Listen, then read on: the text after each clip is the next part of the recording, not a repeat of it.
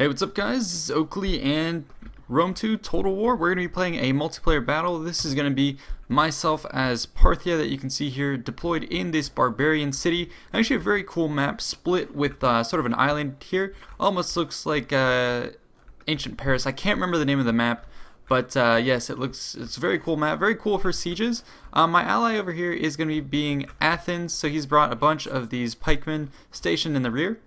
And our assailants are going to be two armies. One of them is going to be uh, Sparta, who has a lot of these Greek onagers here. They've already demolished our wall here. Take a look at that. So that's going to be the main breach, and then they're going to be assaulting the rest of the front. The other army is going to be positioned over here. This is going to be the Odrysian Kingdom, and they're going to be having some of these just larger Dacian ballistas uh, and then in the back, he has a lot of these station peltas. And then leading the forefront of this assault is going to be uh, a long line of these nobles pushing these huge siege towers. So you can go ahead and watch some of these in the front. Making all haste to the front. And let's go ahead and watch some of these guys. They're also assaulting on this position.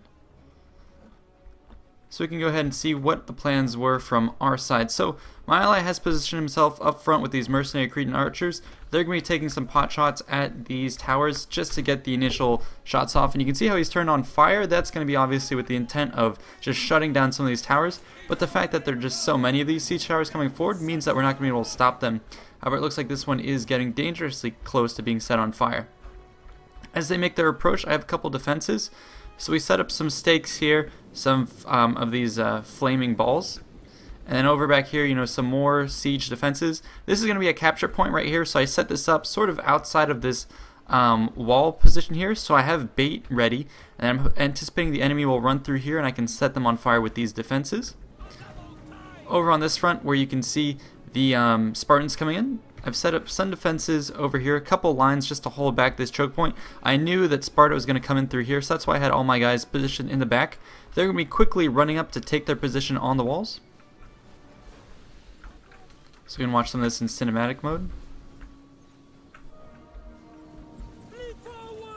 And his men just got murdered in this first volley, a couple of the shots just going through their heads.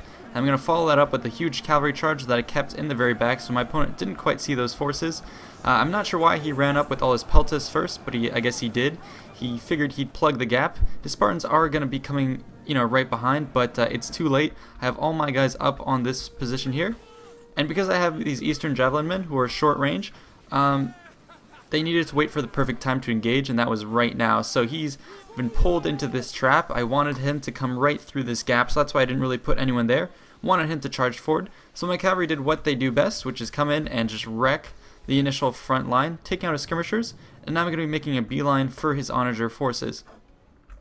Over on this front, the opponents have now successfully docked and they're going to be moving out, starting to capture these towers.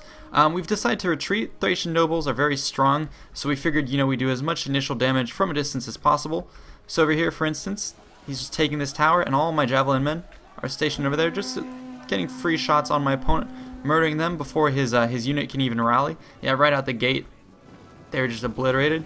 He's going to be sending some other of these guys here relatively soon, although he's a little scared away because of my uh, the damage I can deal with those guys. So mostly we're doing a policy of just pulling the enemy into um, our position, and then I also have these uh, elite Persian archers stationed strategically behind a couple layers, and let's watch those arrows just coming in. So actually they're going to be targeting these guys. So that's what allowed me to really murder these was the combination of Peltas and then the long distance archers. So I'm really liking how this siege is playing out. Uh, it's got a lot of strategy to it, especially with the deployment. Now I'm be pulling my archers out here to get some shots quickly on his forces. Over in the back, he, I've drawn his Spartans in a pursuit, but uh, he's too slow. This opponent kind of gave up on this front wall, and he's going to be targeting me instead with some of his ranged units. So he's starting to do some damage to my javelin men, but that's fine. I just want them there to soak up the fire. Over on this position, Thracian nobles are coming in, pouring in here, but again, we have, you know, our skirmishers at a distance. And I have some reinforcements, Parthian swordsmen, set up in these various positions here, and I'm held holding back these Parthian archers for the inevitable counterattack by the Spartans that should be coming in relatively soon.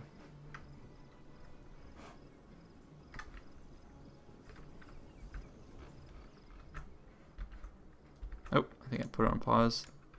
There we go.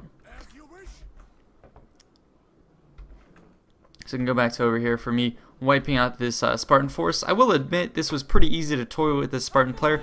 He kind of seems to be grouping all his forces at once and jogging around, so I'm doing my best to exploit that. And uh, we're going to be seeing another assault on this uh, this opening right here. This kind of reminds me of a Helm's Deep where the orcs just poured through here. Um, and I can't wait till they, they develop a, a Total War, um, I don't know, Lord of the Rings somehow mod. I know they have it for medieval, but if they could bring it to Rome 2, um, just with the you know this kind of animation and detail would be really cool. Then you could have this charge on Helm's Deep where you could actually put up a decent fight with archers along the walls and javelin men. Anyways, my opponent kind of pushed in here uh, because of the fact that we had a, a spear wall. He didn't want to engage too much, and then we had more of these archers who I had redeployed. So that forced him back. So what he's doing is he's pulling back to basically uh, this point, the stronghold that he has taken, and he's going to be sending in all the rest of these peltasts. Those are going to be very strong units, uh, especially for wiping out units in close quarters like I have. So I've sent out sort of a fodder group, my elite Persian archers here. Um, I wanted him to recapture this area, however he's going to send an intercepting party up through this mix. So I get some initial shots off against his men, and then he's going to engage with me. I'm going to try and pull them back to this position. I'm thinking about reinforcing. However, our opponent is actually going to be swarming through multiple fronts. He's going to engage these Persian archers that I had in uh, position here for support. So we're actually just being swarmed on this position. Uh, my allies, Cretan archers, are just getting too close for comfort. Uh, they really need to draw back and just put on supporting fire. So he's kind of breaking through at this point. Um, like I was saying, these nobles have some really good stats. I deployed some of these uh, Parthian swordsmen. They're going to be just the uh, the unit to hold this choke point, and they should be able to hold out relatively well.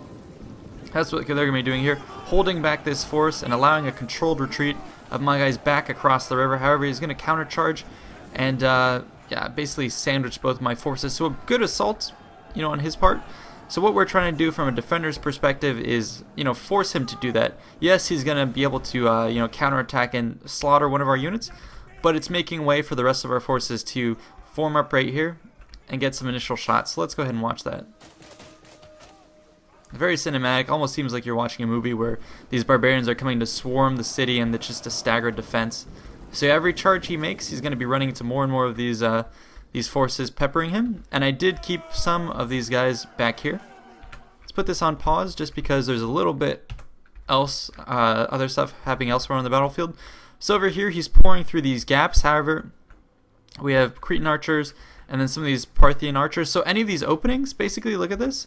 I've got these areas covered with my arrows. You can see more and more of his guys just getting picked off. Looks like one of the commanders was picked off, so he's deciding to pull back.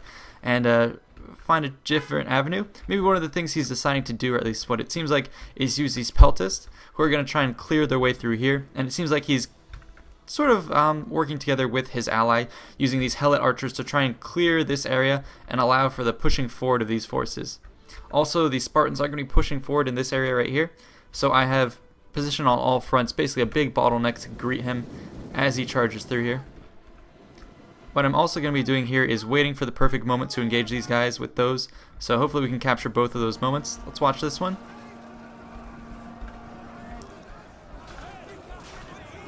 So here are the Spartans charging forward. Going through that gap, the archers engaging. Let's go ahead and watch this moment over here that I definitely want to show you.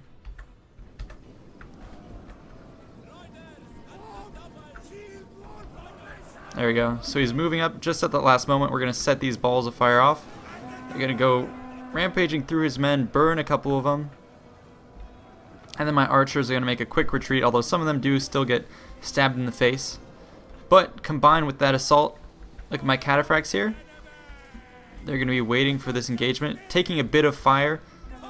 But now that the fireballs have cleared, here we are charging through there. Some really epic shots gonna devastate his uh, his troops here. However, he's just streaming over with all of them, and these guys have pretty high armor penetration, so they're actually gonna be cutting into my cavalry very well.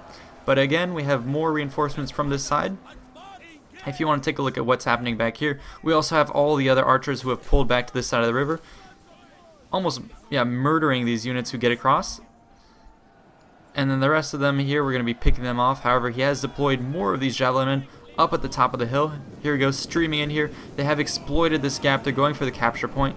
Um, but this is where we're going to try and deploy more of our guys. So here you can see the Athenian hoplites pouring in, trying to stem the uh, the flow of these nobles. Some of my own archers are going to try and bait him again. But you can just see that the charge on these guys, they just absolutely destroy any of my Parthian swordsmen who try and hold up. There you go, they're obliterated. I was able to pull out my general for a little bit. Over on this side, my cavalry returned and did a bit of a, an envelopment on his forces. So you can see here the Spartans leaving the battlefield in disarray. Weren't able to take this wall and you can see them all fleeing. So we're going to be cleaning up on this engagement. Meanwhile, the uh, Thracians are making a decent push, forcing us back on this front. We have nothing really to fall back on, so they're making a good push there. We do, however, have some more reinforcements here. Looks like some of them are actually waiting underwater. That's kind of funny. But uh, yeah, we have some guys ready to deploy back here. The rest of his forces are still positioned here. However, these are mostly his peltasts. These guys are decent in melee, but now that we've actually been able to uh, disengage some of our hoplites who came in, with the archer support on that side, we were able to just break their morale. So I hope you guys enjoyed this quick siege. Definitely cinematic, had some awesome moments. The um, the balls of fire coming through here, followed up by the cataphract charge, was really really cool, um, and it's just a testament to some of the cinematics you can get on uh, Rome 2. Also, the uh, the double envelopment on this whole position here, and just how that leads to a, an all-out massacre. But yeah, I'll, I'll I'll bring you guys another siege that I did relatively soon. I think it was a 3v3, basically Rome against Egypt. So I'll bring you guys that battle. See you in the next one. Thanks so much.